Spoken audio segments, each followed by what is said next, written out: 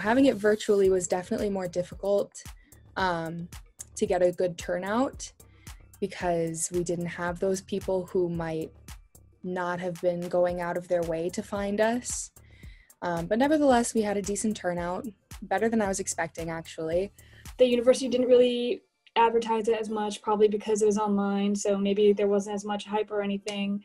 And we didn't really know who to email, like besides our GroupMe people are current members. So we really didn't know how to recruit any new members or how to reach out to other people who are pre-vet without like screaming at them at Festifall. I think if I had been a freshman this year and not paid attention to I don't know, the university's posting or if I had just gone about my business, I don't know if I would have known to go to Festifall now that it's virtual